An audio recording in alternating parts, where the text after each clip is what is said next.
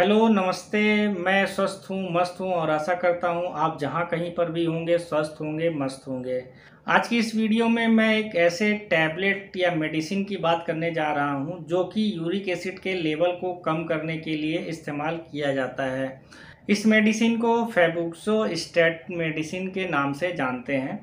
ये मेडिसिन जो है, ये non purine selective xanthine oxidase inhibitors होते हैं, जो कि जेंथिन और हाइपोजेंथिन को यूरिक एसिड में कन्वर्ट होने से रोक देते हैं। सामान्य भाषा में कहें तो ये जो मेडिसिन होती है, ये यूरिक एसिड के फॉर्मेशन को कम कर देती है।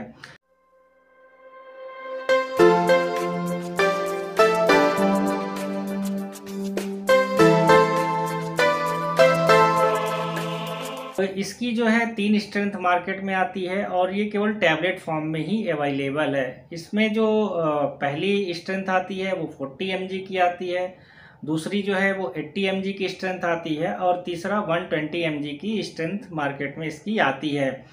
यूज़ की बात करें तो फेबुस्टेट के जो भी मेडिसिन आते हैं मार्केट में वो मेनली दो जगह पर यूज़ किए जाते हैं। पहला हाइपर यूरिसीमिया के केस में, यानी कि यूरिक एसिड का लेवल हमारे ब्लड में अगर नॉर्मल लेवल से ज़्यादा हो गया है। दूसरा, इसका इस्तेमाल गाउट में किया जाता है। अगर पुरुषों में नॉर्मल लेवल की बात करें तो यूरिक एसिड का जो नॉर्मल लेवल होता है पुरुषों में, वो होता है 2.5 पॉइंट पर डेसीलीटर से लेके 7 एम पर डेसीलीटर तक। और अगर फीमेल्स में यूरिक एसिड की बात करें तो इसकी जो नॉर्मल रेंज है, वो 1.5 पॉइंट पर डेसीलीटर से लेके 6 एम पर डेसीलीटर तक होती है। यूरिक एसिड का लेवल नॉर्मल लेवल से कम हो जाए तो किसी तरह की कोई प्रॉब्लम नहीं होती।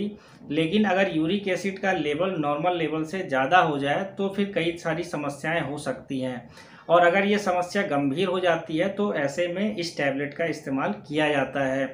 इस टैबलेट को लेने का तरीका क्या है? तो सबसे पहले मैं यहाँ पर ये बता दूँ कि ये शेड्यूल एच की दवा है, यानी कि बिना डॉक्टर की सलाह के इस पर, इसको नहीं लिया जा सकता तो खुद से इस टैबलेट का इस्तेमाल ना करें।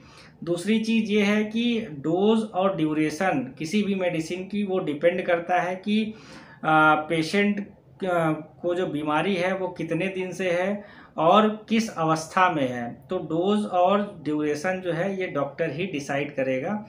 और अब बात कर लेते हैं इसके साइड इफ़ेक्ट्स की। तो इसके ज़्यादा वैसे कोई बहुत ज़्यादा साइड इफ़ेक्ट्स तो नहीं है। कुछ सामान्य साइड इफ़ेक्ट हो सकते हैं जैसे नोज़िया, वॉमिटिंग हेडेक आपका स्टमक पेन तो इस तरह की समस्याएँ किसी भी इंसान को हो सकती हैं। अगर आपको इसको लेने के बाद कुछ भी इस तरह की समस्या आ रही है तो आप अपने डॉक्टर से तुरंत संपर्क करें।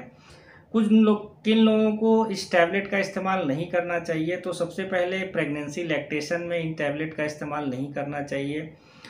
दूसरा अगर किसी को लीवर और किडनी की प्रॉब्लम है तो उनको भी इस, इसका इस्तेमाल नहीं करना चाहिए। अगर किसी को हार्ट अटैक की प्रॉब्लम पहले कभी हो चुकी है तो उन लोगों को भी खुद से इसका इस्तेमाल नहीं करना चाहिए। जो लोग एल्कोहल लेते हैं उन लोगों को भी इसका इस्तेमाल नहीं करना चाहिए। अगर आप एल्कोहल लेते हैं और डॉक्टर आपको ये दवा लिखता है तो एक बार डॉक्टर से ये ज़रूर बता दें कि आप एल्कोहल ऑलरेडी कंज्यूम कर रहे हैं। ऐसी ही बेहतरीन वीडियो के लिए आप मेरी प्लेलिस्ट को फॉलो कर सकते हैं। आपका बहुत बहुत धन्यवाद।